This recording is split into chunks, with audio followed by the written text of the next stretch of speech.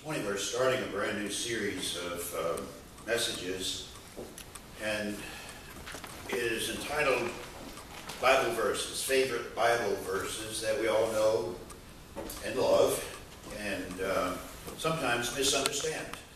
And this is uh, one of those strange things. You might ask, well, we all know and love them, seems like we would have a pretty good understanding of. And that's true. I believe that that's true. God's people do have the mind of Christ when it comes to understanding or interpreting Scripture. But sometimes we kind of divert our attention to something that is favorite, something that we like to hold on to, instead of interpreting it directly as God intended for us to do. Uh, what I mean by that is simply this. The verse and I'm going to try to give this uh, explanation at the beginning of the series. I might refer to it a number of times over, but the, one of the verses that Belinda read just a moment ago was 2 Timothy 2.15. Work hard so you can present yourself to God and receive his approval. That's why the message is entitled Ultimate Approval. We're looking for his approval. And then it says, be a good worker. And that's where the misunderstanding sometimes comes in with this particular verse. What does it mean to be a good worker? Well, the misunderstanding has to do with knowing the truth as opposed to doing the truth. You know, we can do both, and sometimes we only do one. Sometimes we know and don't do. Is that clear? That's, that's, that's fairly clear. Um, the scripture says, study to be approved, a good worker that doesn't need to be ashamed, but rightly divides the word of truth. To rightly divide, that's King James, by the way. Uh, if we rightly divide it, if we rightly understand it, we pick it apart, we parse it, we pull the meat off the bones, if you will, of what the Scripture says, that's one thing. And we can know that once we understand it, we know it. But to understand in the biblical sense is more than just knowing, it is taking what you know and doing. So, without the one, there is not the other. And so, it's not a bad thing to know something. The scripture even tells us to hide the word of God in our heart that we might not, what? Hide the word of God in your heart that I might not sin against you. You see, with every bit of knowing, there is some kind of doing. Let's dig in. More than 500 years ago, Johannes Gutenberg invented the printing press. And the very, very first book to roll off that press was what? The Bible and it became a bestseller ever since. In October of 1987, a Gutenberg original Bible that was came off of that original press was purchased for over $5 million. At the time, it was the largest sum of money ever paid for a printed book. But the true value of God's Word is, without question, priceless. It is God's gift to us. You can't assign a money value to that. What can we say about the Bible in terms of knowing and doing that really speaks to our hearts today and really helps us to pull this verse apart of 2 Timothy 2.15 about studying to show ourselves approved, a workman that doesn't need to be ashamed, rightly dividing the word of truth. How do we put this in street clothes so that we can wear it. Well, as a Christian, living the life of a disciple of Christ is something that finds daily, even moment by moment direction in the ultimate truth, which is God's Word. Now, you have heard people talk about your truth and my truth. Isn't that popular these days? Well, that's true for you, but for me. Well, for God, truth is truth. And there is no your truth and my truth. There is only truth. And so, taking our directions from the Word of God, which is the truth of God, which is the character of God, which is ultimate truth. A lot of people say there's no such thing as ultimate truth or absolute truth.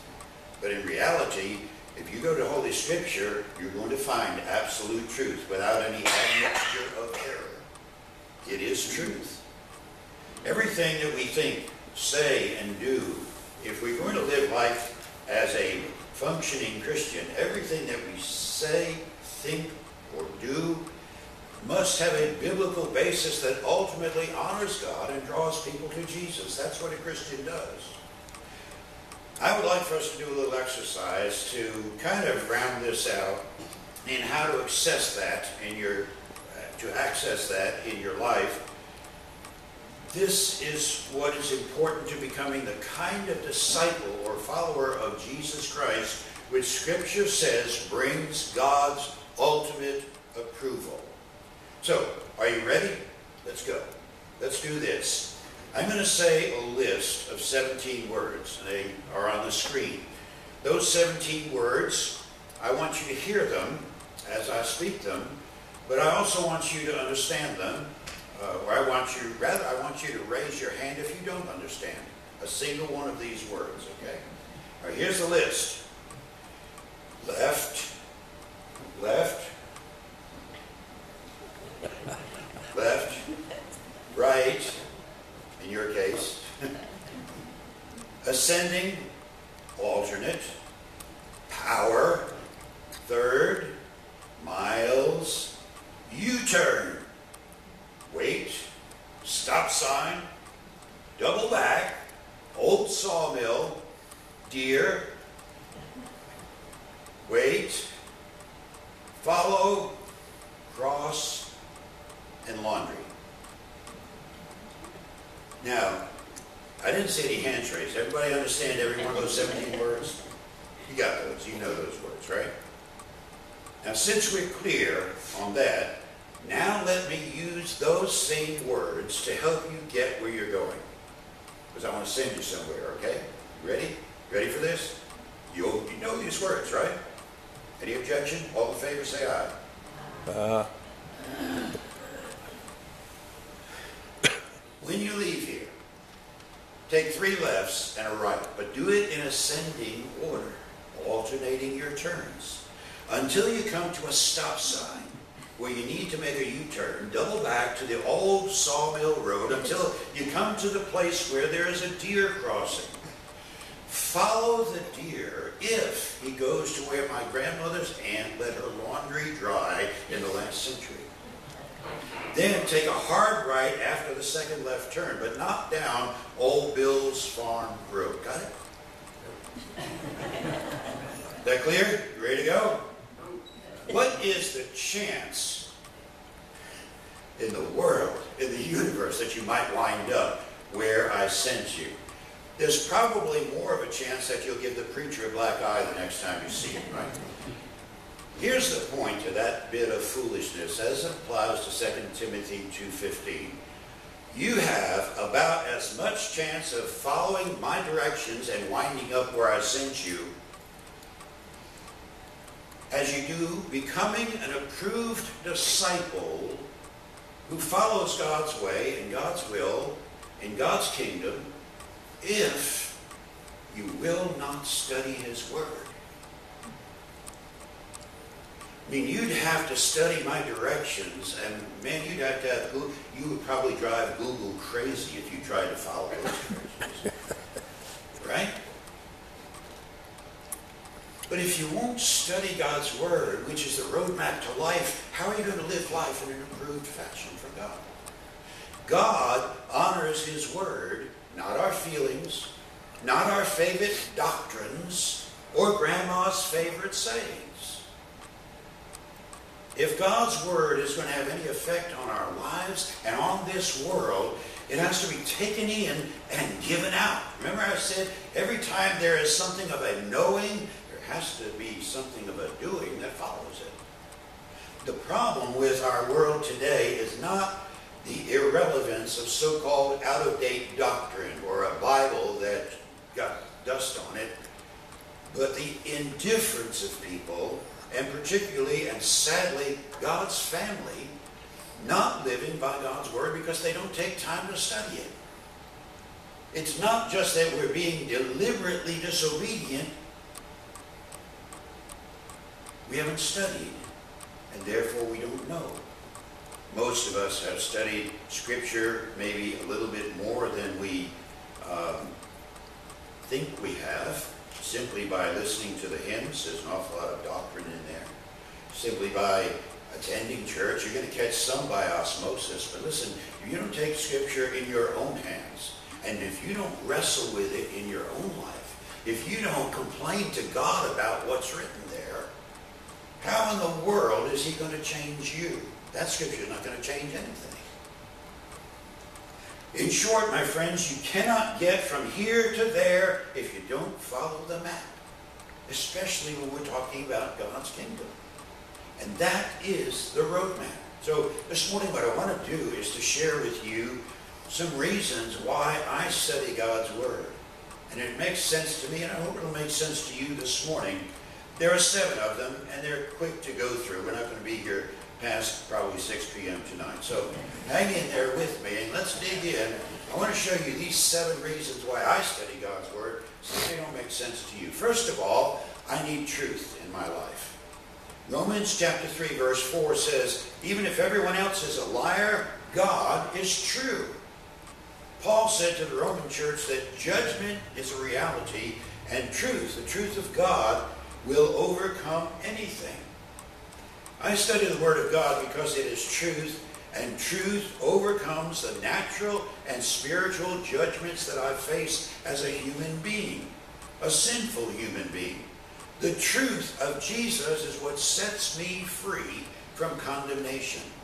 I study, first of all, because of truth. Secondly, I need strong faith.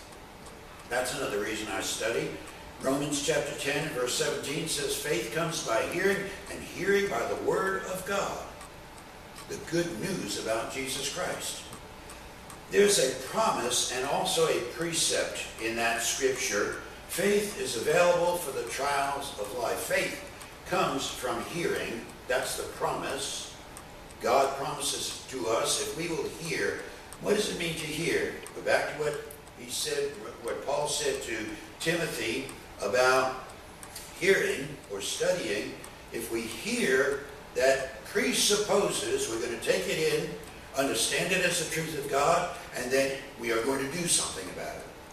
The promise is that by hearing God's word, by listening to it, studying it, we will understand it, and then we are bound to put it into practice. And that's the precept. Precept is that fact that faith comes on God's terms, which is the ultimate truth of his word. And if we put it into practice in our life, we will receive God's approval.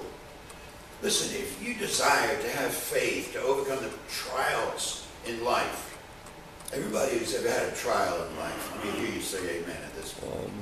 yeah. Whew, man, that's about 100%, isn't it? We all face trials. We all face tough times if you're going to face the tough times, the trials, it will come standing against those trials and overcoming them will come because of the reading and understanding and most of all the practice of God's Word. Dr. Billy Graham once said that faith and works concept of hearing and doing, they work like breathing. In breathing, what do you do? You go, and then you go. You know, that breath doesn't stay down there, right? it, it gets put to use. Faith, Billy Graham said, is taking in the gospel. Works is taking the gospel out to the world. The Bible, which is truth, leads me to Jesus, who provides me the breath of new life, and then I take that out into the world with me. If you want to have a strong faith, you have to feed your faith on the Word of God. What's that old thing about two dogs, two junkyard dogs? You bring them home with you, you feed one, but you starve the other. What happens? When they fight, which one's going to win? The one that's been fed, right? The One that's been cared for. It's the same way with your soul. If you feed the natural side of you, the fleshly side of you, if you feed the side of you that tends towards, I'm going to do what I want to do, that's that natural side, the fleshly side, the sinful side, instead of the spiritual side that says, I want to do what God wants me to do. Depending on which side you fear, feed, that's the, that's the side that's going to win in your life. So if you want to serve God, you want to have the kind of faith that's going to help you overcome obstacles. You need to feed your faith. You need to feed the spiritual side of you. And when the tests come, that spiritual side will be tougher and stronger than the tests and the storms that life throws at you. But woe to you if you feed the selfish nature. You're just going to fight like the rest of the world does. Number three, I also need sound wisdom in my life. Scripture is that, James chapter 1, verse 5. If you need wisdom, ask our generous God, and he will give it to you. He will not rebuke you for asking. Have you ever been surprised by somebody you thought was your friend, who when you said something, laughed at you and talked about you behind your back? That's what the scripture is trying to tell you here, is that God will never do that to you. You ask him for wisdom. You say, God, I'm a dunce, and I really need some wisdom for what's going to happen next week. God's not, God's not going to go, boy, I Russell, boy, he really is a jerk. I wish I could do something. He's not going to do that. He will not rebuke you. He will not say, who do you think you are coming to me? That's what kind of what, what rebuke is. Instead, it says that he'll give us faith. He'll give us that strength. He'll give us that wisdom. Live in a fallen world. I get an amen there? We do live in a fallen world. Survival can be tricky if you go it alone without the help of God's Word. There was a pilot I read about contacted the tower one time for help. And he said, I'm 300 miles from the runway. I'm out of fuel. I'm only 200 feet off the ground. What happened, Tom? the tower guy came back on the radio and said, repeat after me, our Father, who art in heaven.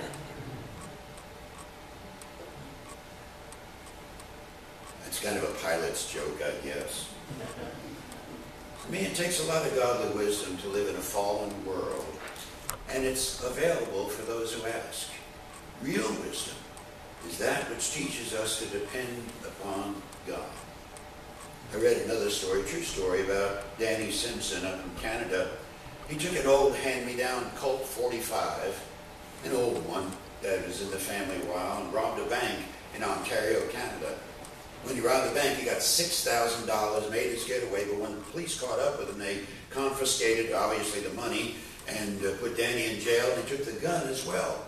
And when the lab technician was processing the gun for fingerprints, he recognized that it was not just an old gun, it was a collector's edition Colt 45 worth about $100,000. Denny just, he owned a gun worth $100,000, but he never imagined his access to the asset that he held. And that's so like a believer who has priceless availability of God's wisdom and never takes advantage of it. How do you take advantage of it? We simply need to ask. If you ignore this wisdom that God will give you, you are like Danny Simpson. You're robbing a bank for $6,000 when you've already got $100,000 in your back pocket. Number four, I also need to seek godly beauty in my life. That's why I study God's Word. Isaiah chapter 63, to all who mourn in Israel, he will give a crown of beauty for ashes, a joyous blessing instead of mourning, festive praise instead of despair. The human mind understands most concepts as pictures. I think what Isaiah was doing in that passage was seeing the Lord Jesus Christ as receiving the ashes of our life. Has your life ever seemed like it's just laying there in ashes? He receives the ashes of our life and returns to us the beauty of a new life. That's what oil represents, among very many other things in Scripture, is the oil of gladness. He would take our mourning for himself and lavishly anoint us with the oil of gladness. that is very much like last week's exchange of grace for thorns. Remember we talked about Paul and the thorn in the flesh that he had, and how Jesus took that, that, that thorn and turned it into his grace, his blessing. The Lord takes the heaviness of sorrow and he turns it into praise that we wear like an elegant gown of triumph. I can honestly say that I've never gone to God's Word with a need and not found that Jesus had already anticipated and provided better than I could ever ask. We would be here indeed until midnight tonight if I stood here and just told you story after story of the blessings that Elizabeth and I have received. I mean, there have been times when we were down to two eggs and uh, maybe a, a, half a glass of milk in the refrigerator. And, uh, you know, it was either her parents or my parents that sent the, uh, the, uh, the St. Bernard with the cask, you know. Well, no, he never sent that to us. I mean, the blessings that have come. I don't want to waste too much time just sharing my personal stories about that, but it's true. Fifthly, I also need genuine encouragement in my life. First Samuel chapter 30 is all about David and one of the sorrowful times that he was in. It says in chapter 30, verse 6, David was now in great danger.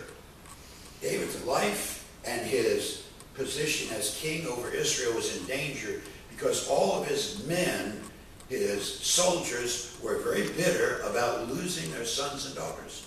And they began to talk of stoning him. That's what I call a revolt. But David found strength or encouragement, is another word for that word, in the Lord his God. It, it happened during one of the wars that Israel was fighting against their arch enemies, the Amalekites. David suffered a humiliating defeat. One of the cities was taken, it was looted, it was burned, and all the inhabitants, including two of David's wives, were taken captive. David's leadership was in question. The people that he led, the army that he led, was talking about stoning the king. Now, I've been at that place a leader, a pastor, a president, anybody who leads anybody has been at that place. Uh, I'm not sure which president it was. It may have been all of them talked about how lonely it may be at the top. Well, it can get that way when there is an anger that is in the group that is being led. I've been at that place. I've been so discouraged at times, I wanted to give up. You remember me saying just a few moments ago how Elizabeth and I feel so happy and blessed to be here? Well, it's because we know how to compare that. We know what it's like on the other side when you're not happy to be there. In one church I served, when I was very young in ministry, uh, this was quite a few years ago, there was so much trouble. There was a couple of the families reminded me of the Hatfields and McCoys. You know what I'm talking about? Um, it was the feud that was going on. Their fussing got to me, and I began to lose hope for that church, not just for me or for my family, for the difficulties, because um, two families centered their problems around the, the pastor. But I might confess that as a preacher, some would call me a religious professional, uh, I know and I can teach a whole lot more about the Christian life than I can actually live. Why is that? Because I spend my life studying it. But you know what? I'm only one man. And it's overwhelming when you read all of the scripture. You say, oh, I got to do this, I got to do that. Sometimes, you know, you get really blown away by it, don't you? But God knows that about Russell, about how limited I am. And he has always provided me with two things as I've pastored these past 40 some odd years. His word, which we're talking about this morning, but also his people, you. He's provided me those two things. When I turn to God's word, I find encouragement that God hasn't forgotten my address. But there's that other thing about his people. In that particular church, it was Missy Coleman that God provided to seal the deal on me sticking it out until God moved, until God did something. Missy lived the faith better than her pastor did. There was no question in my mind about that. At one discouraging moment when it was so dark, all I could think about was how soon can we pack and be gone? Missy saw my despair, and this mid 80s something saint, with the wrinkles of many a spiritual battle to prove it, she got me in the open space between the two church buildings. And she took me by the arms with those arthritis ridden hands of hers. She smiled, that wrinkly smile of hers where you couldn't see her eyes because she was smiling so wide. And she said, Look at me right in the eyes. I, I believe she was looking me right in the eyes, even though I couldn't see those eyes. Through that wrinkled smile, she said, Preacher, it's going to be all right. I'll tell you what, I thanked Missy. I wanted to get away from her as quickly as I possibly could because I was about to break down and cry. I thanked her. I tried to keep a stiff upper lip, but I just couldn't see it, that it would be all right. This church was coming unglued. There was nothing that I could do about it. You know what? I was right. You know what else? So was Missy. Wait a minute, preacher. How does that work? Well, I was right first. The trouble escalated until that mess finally erupted like Mount St. Helens in an explosion of theological nonsense. But Missy was right because it wound up with the Hatfield and McCoy families leaving that church. And that church seemed like Death Valley for months afterward. But Missy's foresight saw beyond the mess, and she saw all the way to what God was holding in his hands. In the days and the weeks and the months and the several years that followed that time, God changed the spirit of that church. And we grew both spiritually and in numbers for the rest of my time with those folks. Today, where there was a sanctuary a little bit smaller than this one when I started out, today on that grounds is a sanctuary that seats about 600 people.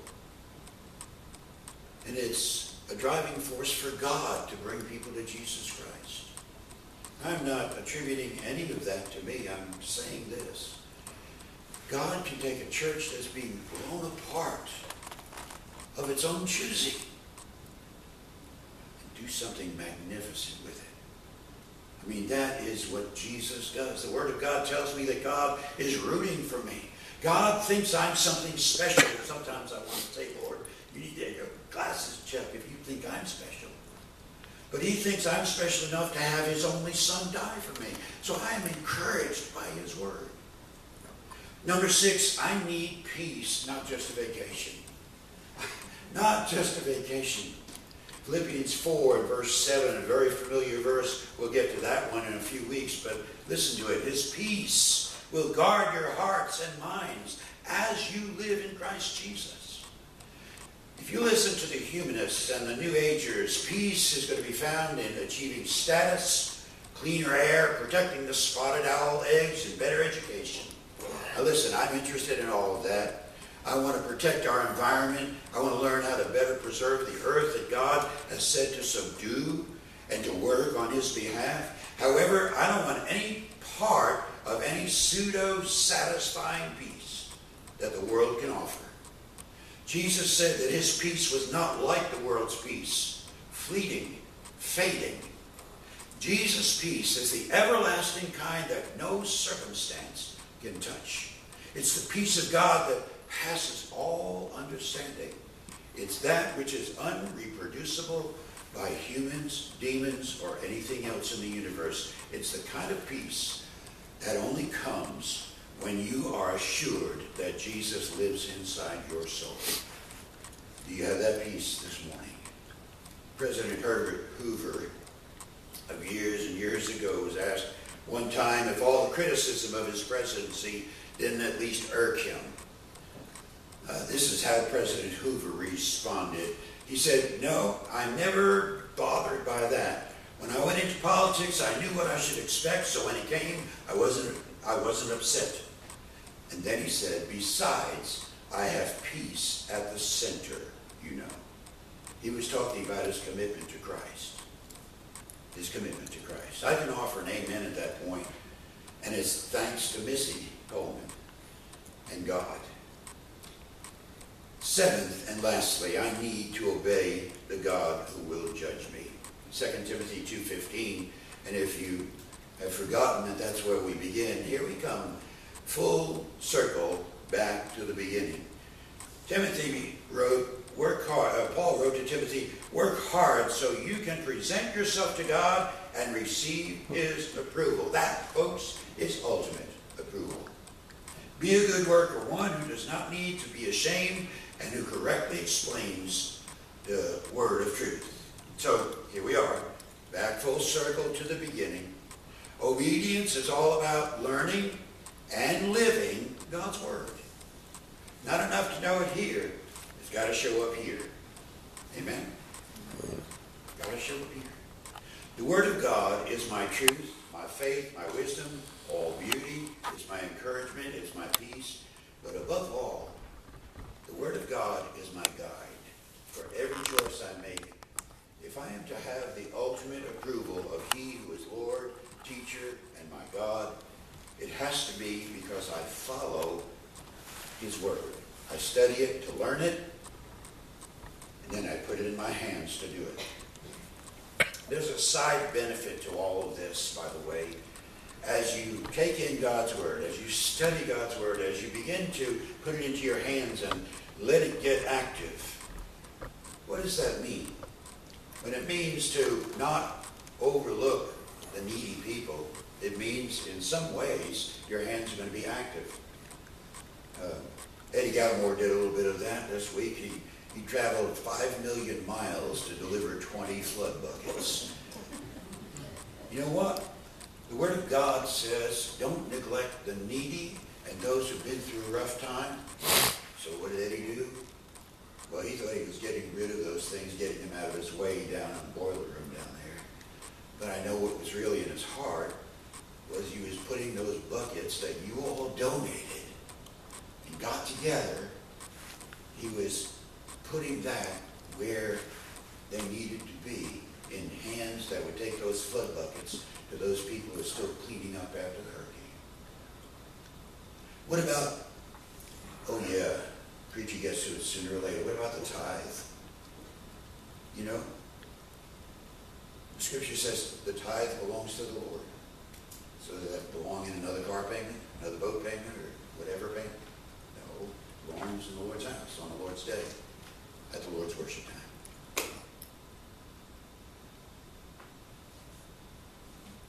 What about your testimony? Is that something for you to hold on to and know? Yes, certainly. What about putting it in those hands and offering it to somebody who needs to know Jesus? The side benefit is when you start to do that, when you take it all in and you begin to give it out, the side benefit is the laughter of the redeemed. I don't know if you're familiar with that term or not. Let me tell you about a friend of mine who's now in glory, Rodney. One day, years ago, he called to tell me he was living in Florida. We were living here in North Carolina. We served together in the same church. Friends, good friends, close to being, I would say, best of friends. Rodney called me one day years ago. He called to tell me that his doctor told him that his heart wasn't working right. The test showed the bottom half was on vacation. The scary words came over the phone, emergency, operate, doctors. So my friend knew enough what God's word said. He wanted to put it in his hands now and get it moving. And so in obedience to his word, uh, Rodney called everybody he knew who would pray. And he called me, and I, he knew I would pray. And we prayed over the phone, but I kept praying. The next day, the doctors did some more tests. When the doc came back into the room, he told my friend Rodney, he said, well, there's one more coincidence that we need to talk about. I knew, because I know that's a buzzword with Rodney. Uh, whenever he started off, whenever he started off telling me about a coincidence, I knew what he was going to say, how God worked something out. The doctor said to him, one more coincidence we need to talk about. He said, you must have mobilized the whole world to pray for you. Son, there isn't a thing wrong with your heart today. That's what the test showed. When my friend called me again to let me know, we laughed the laughter of the redeemed. One more time. Now, there are no people who laugh with more sincerity or more reason than the people of God who seek white hot after the kingdom of God. Let's pray together. Father God, you've given us every tool necessary to be your people and to work in your vineyard. Lord, our prayer is that we would take hold of all you have to offer each of us. Gifts for serving, your Holy Spirit for guidance, and the power of your mighty Son's right hand in whose name we pray. Father, help us to make our hearts willing to lay aside the sin that so easily besets us and open our spirits and hands to your will that we might be approved workers, rightly handling your holy word for the glory honor and praise to which you alone are worthy, O Lord. We pray in the name of the Son, cooperating with the Spirit, to honor and lift up the majesty of the Father. Let it be so in each of our lives, we pray. And God's people said, Amen. 467